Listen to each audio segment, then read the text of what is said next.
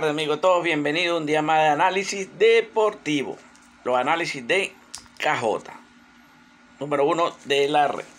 Vamos con la información del día viernes, señores. Viernes, ya terminando la semana. Vamos a entrar a fin de semana ya. Un fin de semana que espero que sea muy productivo para todos ustedes y su familia. Bendiciones para todos. Vamos con un resumen de ayer jueves primero. Ayer por lo menos por aquí por TikTok, muy activa la gente de TikTok. En TikTok, como se lo dije ayer, ya llegamos a 600 seguidores.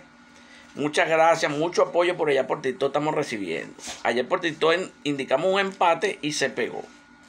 Por aquí regalamos el fútbol cuatro juegos que mandamos a combinar y pegamos dos. Se nos cayeron dos. Se nos cayó el de Estrella Roja, donde indicamos la doble oportunidad y no pudo mantener el empate. Y el del Puni, también doble oportunidad, tampoco fue otro equipo que pudo mantener un empate. Se nos cayeron esos dos logros.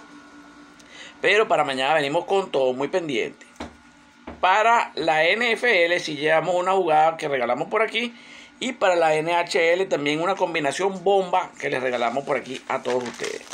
Ahora, todos los nueve que se ganaron el plan de Capulina y KJ, la fija de Capulina y KJ, hoy por tercer día consecutivo volvieron a cobrar.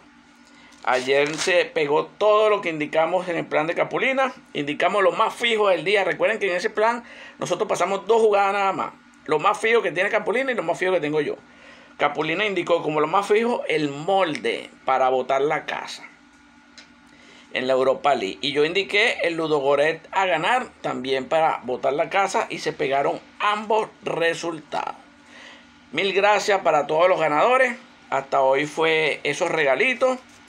Eso, lo bueno de esto es que ustedes fueron eh, partícipes de esto que es real. Para que ustedes vean cómo se gana de preciso en el plan de Capulina. Tres días consecutivos ganando en el plan de Capulina. Ayer le indicamos dos fijas. De las dos fijas pegamos una, que era el Tottenham.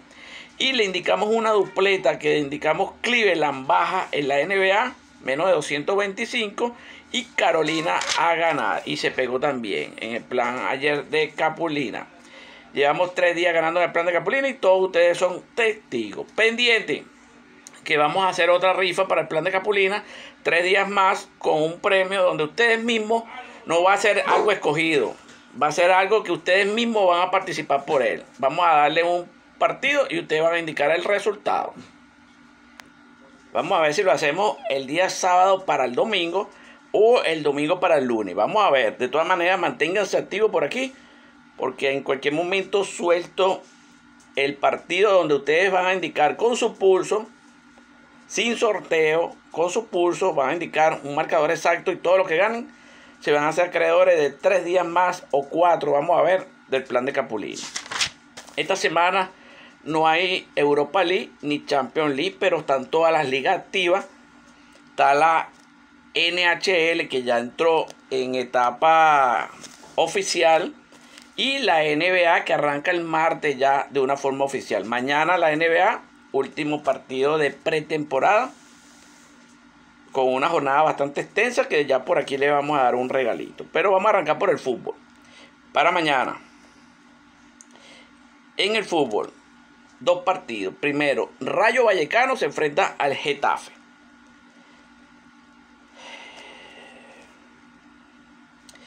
Aunque el Getafe viene de ganar, eso fue un partido que yo en lo particular lo vi y fue un partido malísimo pareciera que le hubieran regalado esa victoria.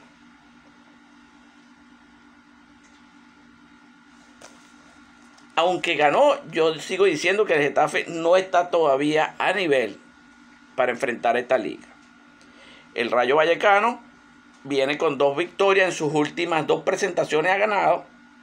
Mañana viene en casa. Pero me sorprende, siendo el Rayo mejor equipo, estando en casa y veniendo con esta racha de dos partidos consecutivos ganando, que esté pagando 2.50 a 1. Me parece una cuota muy alta para este equipo. puede haber algo en este partido. Por eso, mañana vamos a indicar para ir seguro, porque lo vamos a combinar con otro, aunque esta cuota es muy bajita, al combinarla con la otra que le vamos a dar por aquí, paga más de 2 a 1. ¿Ok? Entonces, vamos a jugar el Rayo Vallecano, doble oportunidad, gana o empata. Y lo van a combinar con el Queen Park. El Queen Park a ganar de Escocia. ¿Ok? El Rayo Vallecano, doble oportunidad y el Queen Park de Escocia a ganar, eso paga una cuota de 2.30 o 2.15 a uno más o menos. Se duplica la jugada que le metamos y vamos casi seguros en este partido. En la NBA, como se lo dije, mañana último partido de pretemporada, un partido que me mandan mis scouts y los analistas deportivos de, de, Las Vegas. Un reporte donde dicen que la mayoría se van a cuidar un partido donde se van a cuidar mucho, va a jugar mucho la banca. Los titulares van a descansar porque arranca oficialmente el día 18, martes 18 de octubre, la temporada oficial. Y no quieren llegar con ninguna lesión ni cansados muchos jugadores. Por eso mañana creemos que muchos partidos se van a dar en baja. ¿Ok? Escogimos tres bajas para regalarlas por aquí a todos ustedes. Tomen nota. La primera, Brooklyn. Brooklyn, la baja de ese partido, la vamos a jugar mañana con todo. La segunda baja es la de Toronto, Raptor. Toronto Raptor en baja. Nos gusta mucho también esa baja. Y la tercera baja, que para mí es la más fija de las tres, es Dallas. Dallas en baja mañana, como la tercera baja que vamos a indicar en la NBA. Pasamos a la MLB una MLB donde hoy suspendieron el juego de Yankees. En ese juego de Yankees pichaba Cortés. Este juego fue pospuesto y reasignado para el día de mañana, 14. Entonces, en ese partido vamos a jugar los Yankees mañana a ganar con Cortés. Pero ojo, escuchen esto y anótenlo para que no se les olvide. Mañana gana Yankee con Cortés y el próximo juego de Yankees lo pierde. Ojo, desde hoy 14, tomen nota y hablamos cuando se presente el segundo partido. Yankee mañana a ganar y el próximo juego Yankee lo pierde. Monten el pitche que monte. Lo pierde Yankee el tercer juego. Y lo vamos a acompañar con los Dodgers mañana. Mañana Dodgers monta a Tony Gonzolín. Para mí, para mí, en mi humilde opinión, el mejor pitcher que he visto en la MLB este año. Un pitcher bien controlado, bien consistente. Cuchillo. Tony Gonzolín para mí uno de los mejores pitchers de esta temporada.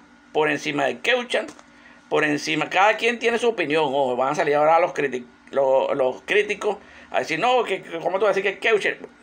De repente para muchos serán Keuchan, otros serán de Gron, otros serán eh, Colé. Pero para mí, Tony Gonzolín lo tiene todo. Es un pitcher bien controlado, bien centrado, da pocas bases por bola, muy ponchador.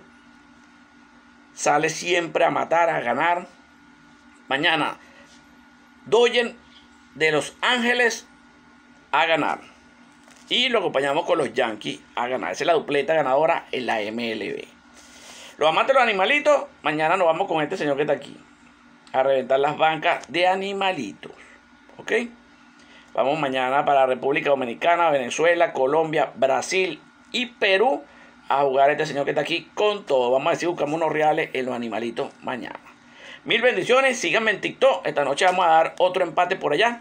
Para acá les tenía dos hoy. Ayer les dije, les tengo dos empates para hoy, pero no llegamos a 480. Se lo bajé de 500 a 480 para ver si se ganaban los dos empates y no pudieron llegar a esa cifra. Pero uno de esos dos empates lo vamos a dar por TikTok. Atentos allá. Nos vemos mañana. A seguir jugando inteligentemente. Se le quiere mucho el sultán. Chao.